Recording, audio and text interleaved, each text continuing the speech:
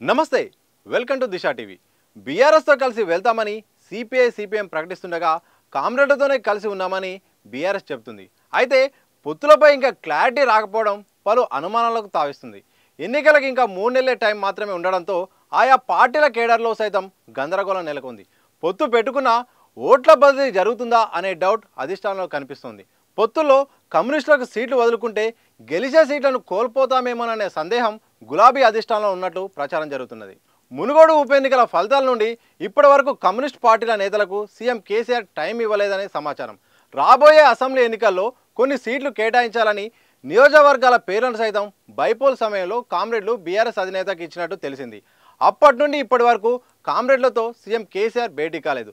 పొత్తు కుదరకపోతే ఇతరులతో కలిసి వెళ్ళేందుకు వామపక్షాలు సిద్ధమవుతున్నాయనే ప్రచారం జరుగుతున్నా దీనిపై కూడా క్లారిటీ లేకుండా పోయింది. అసెంబ్లీ ఎన్నికలకు మరో మూడు నెలల సమయం మాత్రమే ఉన్నది. దీంతో పొత్తులపై క్లారిటీ లేకపోవడంతో సిపిఎం సిపిఐ జిల్లా నేతలు కేడర్ గందరగోళంలో ఉన్నట్టు తెలుస్తోంది. వామపక్ష రాష్ట్ర నాయకత్వాలు పూర్తిగా కేసీఆర్ పైన ఆధారపడినట్టు ప్రచారం జరుగుతుంది. అయితే ఆఖరి సమయంలో కేసీఆర్ పొత్తులకు నో చెప్తే కమ్యూనిస్టులకు గడ్డుకాలం తప్పదనే టాక్ వినిపిస్తూ ఉంది.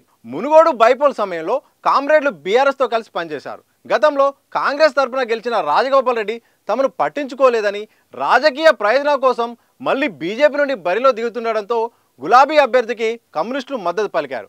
అప్పుడు అక్కడ బీఆర్ఎస్ విజయం సాధించింది. అయితే ప్రస్తుతం రాష్ట్రంలో నెలకొన్న రాజకీయ పరిస్థితులను దృష్టిలో ఉంచుకొని బీఆర్ఎస్ ఒంటరిగానే పోటీ చేసేందుకు ఆసక్తి చూపుతుందనే ప్రచారం జరుగుతుంది.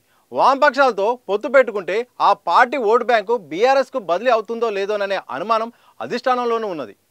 బీఆర్ఎస్ గెలిచే సీట్లను కామ్రేడ్లకు కేటాయించి అక్కడ ఓడిపోతే భంగ పడాల్సి వస్తుందేమోననే భయం కూడా ఉన్నట్లు ప్రచారం జరుగుతుంది. అందుకే పొత్తులపై కేసీఆర్ తర్జన భర్జన పడుతున్నట్లు విశ్వసనీయ సమాచారం.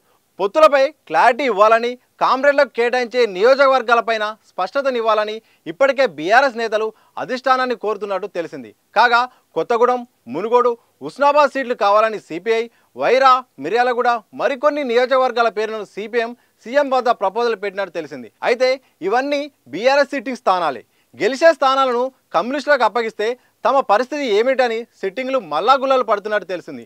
అందుకే అసెంబ్లీ ఎన్నికలకు ఇంకా గడువు ఉందని పొత్తులపై సమయం ఉందని సీఎం కేసీఆర్ దాటవేస్తున్నట్టు విశ్వసనీయ సమాచారం.